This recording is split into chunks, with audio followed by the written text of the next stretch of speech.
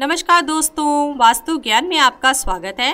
बृहस्पति देव सौर मंडल के सबसे बड़े और सबसे शुभ ग्रह होते हैं। देव गुरु बृहस्पति का रत्न पुखराज कहलाता है। वैदिक ज्योतिष में पुखराज पाँच रत्नों में से प्रमुख स्थान रखता है। इसे गुरु रत्न अथवा रत्न राज भी कहा जाता है। यह रत्न काफ़ी पवित्र माना जाता है। पीला पुखराज रत्न बृहस्पति की ऊर्जा तरंगों को अपनी ऊपरी सतह से आकर्षित करके अपनी निचली सतह से धारक के शरीर में स्थानांतरित कर देता है, जिस कारण व्यक्ति के और में बृहस्पति का प्रभाव पहले की तुलना में बढ़ जाता है।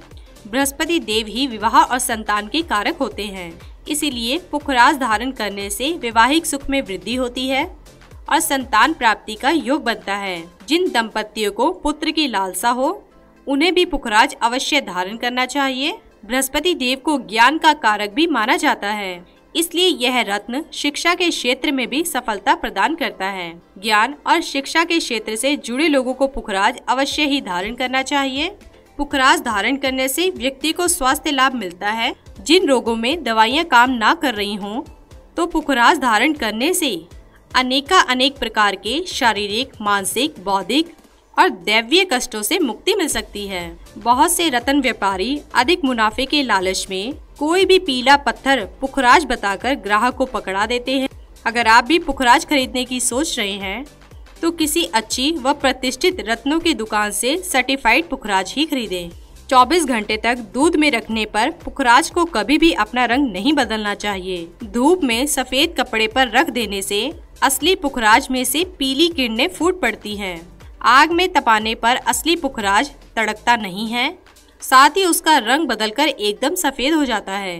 पुखराज धारण करने से पूर्व बृहस्पति से संबंधित पीली वस्तुओं, जैसे केला, हल्दी, पीले कपड़े, चने की दाल तथा शक्कर आदि का दान अवश्य करना चाहिए। वैदिक ज्योतिष के अनुसार इस रत्न का प्रभाव व्यक्ति के वज़न के अनुसार होता है।